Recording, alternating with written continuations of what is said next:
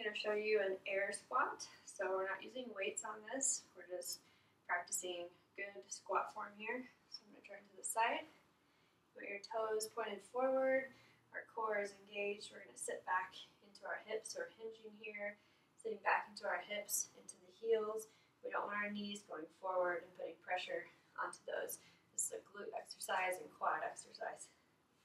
So as we go down, we're going to lift our arms up, sit here, go as low as you can. If you want to go deeper, you can do that. Try to keep your chest up, your back nice and neutral and flat as you go down.